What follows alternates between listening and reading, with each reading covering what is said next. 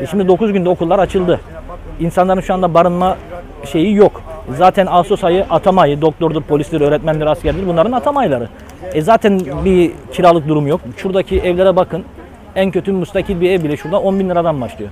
E buradaki insanların hiçbirinin bunları verecek bir durumu belli bir düzeyi seviyesi yok. Temel hakkı olan barınma hakkımızı geri verilmesini istiyoruz. Bize barınma hakkını sağlasın veya bir yetkili gelsin bize desin ki arkadaşlar e, işte barınma hakkınız bitti burada. Hani bize bir yer göstersin en azından. Yani bir insan 9 gün içinde burada şu anda 150-200 hane varsa nereye gidecek?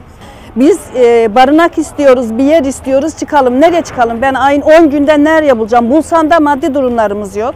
Nasıl yapacağız bilmiyorum yani. Benim binam yıkıldı. Binamız yıkılan var, kirada oturan var. Yani hepimiz aynı vatandaşız, aynı durumdayız yani. Şimdi ben ev sahibiyim ama kiracısına hepsi aynı vatandaş. Yani aynı durumdayız. Bakıyorum yani ben hepsi acınacak durumdayız. Gerçekten bize bir çözüm bulsunlar. E, polisle dışarı atacağız diyorlar. Yani ben nereye kiraya çıkayım söyleyin yani. Maddi durum olmadığı için nasıl çıkacağım? 12, 15, 20, 25'ten aşağı bir kira var mı? Eşim 7500 lira alıyor. Emekli. Nasıl çıkayım? Çünkü burada e, sakat insanlarımız var, hasta insanlarımız var, öğrenci ok- okuyan çocuklar var. Yani biz ne yapacağımızı şaştık olarak. Çalışıp da daha yeni kendimizi topla- toplamaya başlarken şimdi başınızın çaresine bak demesi yanlış. Bizim istediğimiz burada kalmak ya da barınacak bir yer vermeleri bize. Ve inanın daha yerleşemedik bile. Herhangi bak geldik ha- hazır değildi konteynerler içinde. Bir kanepe bile yok, bir sandalye bile yok. Barınmaya çalışıyoruz işte ise başımızda bir ça- çatı var diye. Ama bugün şok olduk yani şokla uyandık resmen. Ne e, badireler atlattım ne durumlar atlattım. Ben o bana deniliyor ki bugün AFAD tarafından e, dedim ben ne yapabilirim? Ev tutabilirsin. Kiracı e, bir kira karşılanır. Ama benim kirayı karşılayacak ben gelirim yok ki. Memlekete gidemem çünkü ben bakın gidip eşyamı dahi alamadım. Ben orada yaşadım travmayı ben bilirim Allah'ım bilir. Üç gün biz orada ölüme terk edildik. Bizi aranıp sormadı. Kimse bizi aramadı sormadı. Ha çok büyük felaket geldi ülkemizin başına.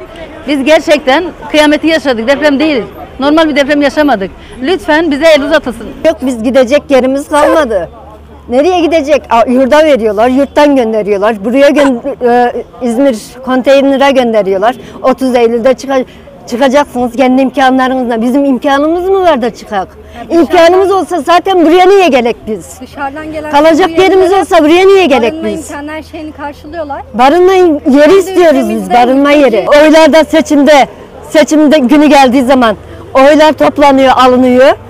Şunu yaparız size, bunu yaparız size, bize verin. Herkes için diyorum ben. Tek Cumhurbaşkanı için demiyorum. Herkes için.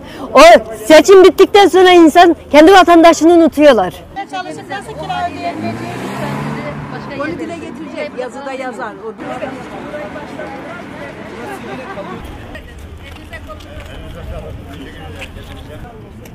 Elinize sağlık arkadaşlar.